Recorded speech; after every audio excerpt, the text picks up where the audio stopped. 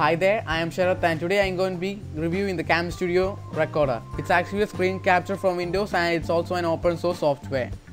The main pro of Cam Studio is that you can record video in any resolution. If your screen is in 1080p, you can record it in 1080p and if your screen is 720p, you can record it in 720p. My screen is actually 720p and you can record in HD as well.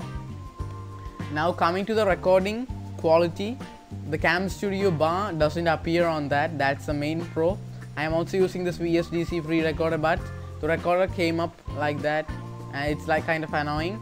And coming to the option, you have several things. File. In file, you can take on the pause, stop, and record options. And in region, you can record any part of region. I have selected fixed region. And in options, you can go to video options as well as cursor options. And in video options, there are several settings regarding Microsoft Office and in cursor option you can highlight your cursor.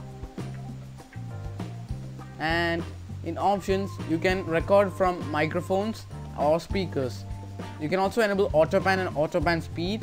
And coming to the tools option you can make also screen annotation. Now let me click on screen annotations. And you can make any like layout and shapes.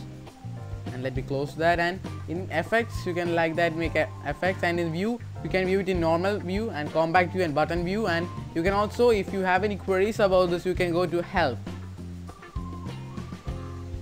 Now you can also comment on the view because I am recording on the Cam Studio only because I have not got any paid one. That's it. If you like this video please click the like button as well as subscribe. It's totally free